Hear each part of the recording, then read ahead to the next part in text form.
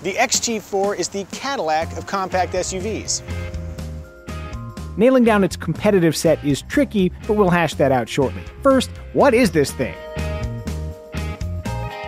That's right, it's a distinctly styled small SUV. This particular XT4 is the sport trim, as indicated by its gloss black trim and sporty wheels. A more traditional luxury aesthetic can be had with the aptly named luxury and premium luxury trims. Regardless of trim, all XT4s present a bright face with standard LED head and running lights. In back, the Sport has clear LED taillight lenses, while luxury trims come in red. Before moving on, I'll point out that this color-free Cadillac crest looks like a smushed Decepticon logo. If possible, editor, this would be a really good point for you to use the robot voice on me. What's life like, like a transformer? Oh, it's, it's not so bad. I mean, there's a lot of sitting around interspersed by some moments of sheer terror, but you know, it's a living. So, does this orange paint make my butt look big? Y you can be honest. Inside, buyers can choose. Okay, enough with the robot voice. Buyers can choose from a variety of themes with wood, metallic, or on the sport model, carbon fiber trim. With lovely stitching, soft surfaces, and a modern design, the XT4 feels like a premium product. Defying that premise are hard plastic hidden down low, and, at least in our test car, janky looking A pillar trim. Ugh. I've also noticed that at certain angles, the trim in this region reflects the sun right into my eyes. Another visual consideration is a high belt line that makes sitting in the XT4 kind of feel like sitting in a hot tub. There we go. Woo! Not unlike a hot tub, the XT4 is a pleasant spot to hang, thanks to soft armrests, extending sun visors, and a good driving position.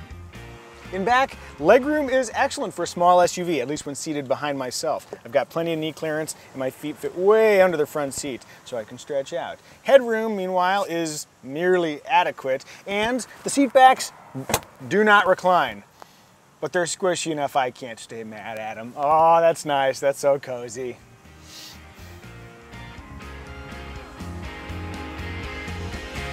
For hiding smaller items, the interior offers seatback map pockets, deep center console storage, these handy slots, and umbrella holsters in the doors, which we would definitely use if it ever rained in California. For larger gear, a spacious, conveniently square 22.5 cubic feet hides behind the second row, expandable via 60-40 folding seats. On a related cargo note, using the OnStar system and an Amazon Key app, you can have Amazon deliveries dropped right in the trunk of your XT4. And if that sounds like a bad idea, try leaving those deliveries on your porch all day. Hey Tim. Hey. How many times have you had stuff stolen off your porch? Twice. Twice? That How wouldn't. many packages? Oh yeah, yeah. Seven total. Is it true? Seven, yeah, four and three. Well, I know how. I know how math works, Tim. Another prime bit of technology is the standard 8-inch CUE infotainment system featuring Apple CarPlay and Android Auto smartphone integration and near-field communication for simple Android phone pairing. You just tap this spot with your phone and it connects. How convenient. Quick reacting and cleanly arranged, I don't have much to complain about. I especially like that even though they have a rotary control knob down here, they also give you the freedom to just push the buttons up here on the screen. I like options.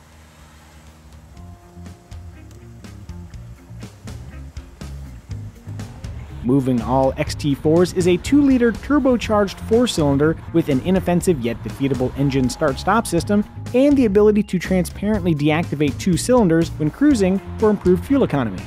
On that score, front wheel drive XT4s return up to 30 mpg when driven tamely. Gun it, and there's ample power to jump ahead of traffic. At the same time, with all that power going to the front tires, torque steer rears its head. Uh, uh, a little bit of that. Oh, there, we're going over there. Yeah, and now we're braking. It doesn't take much effort to counteract the steering wheel's tugs, but it does remind me that some car makers have managed to exercise their torque steer demons. Aw, remember the fun we had in the Civic Type R? Interestingly, models equipped with the optional twin clutch all wheel drive system also experience torque steer. In Tour mode, power is efficiently directed solely to the front tires, helping explain a meager 1 mpg drop on the highway versus front drive XT4. If you demand full-time traction enhancement, just select all-wheel drive or sport mode. When rolling through the suburbs, the XT4 has a smooth riding demeanor. Enhancing the experience is relaxed, low-effort steering, a hushed cabin with active noise cancellation, and a responsive, fine-shifting 9-speed automatic transmission. By contrast, the engine's personality is abrupt and unabashedly turbocharged. Press the throttle and a short pause is followed by a whooshy turbocharged kick. Whether mellow or intense, the XT4's acceleration feels raw for a Cadillac. Especially at low speeds, it's hard to ease into the power. Without measured foot inputs, it looks like I'm trying to get my learner's permit. For the record, I have my driver's license.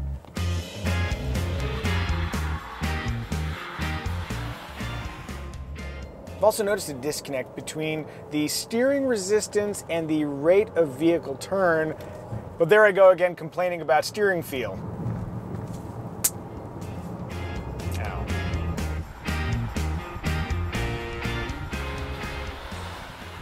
Let's change things up and complain about the brakes. The XT4's brake pedal is both spongy and overly sensitive. How's that possible? We will have cut the B-roll by now. If the editor has done their job. Damn it. The prime suspect is an electro-hydraulic braking system that ditches old-school vacuum assist for a compact electric motor.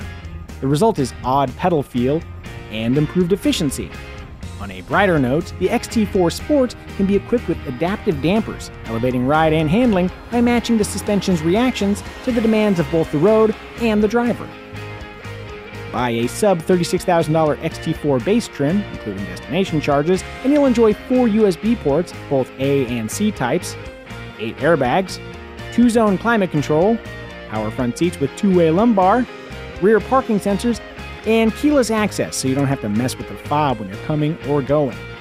Populating the option roster are heated and ventilated seats, leather, blind spot warning, wireless phone charging, a dazzling 360 degree camera system with a range of views, a rear view camera for unimpeded yet creepy visibility, and super adjustable seats with a massage function, though when you first start the car up, it takes the screen a little while to boot up, and you need the screen to select the exact kind of massage that you want.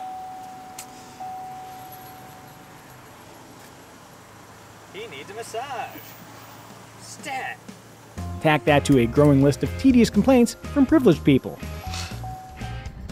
As you'd expect from a modern luxury vehicle, the XT4 offers active driver assist options like dynamic cruise control, forward and reverse automatic braking, and lane departure warning with steering assist. Load up a sport or premium luxury trim, and the MSRP can top 55 grand. Heads up, the only free color is silver.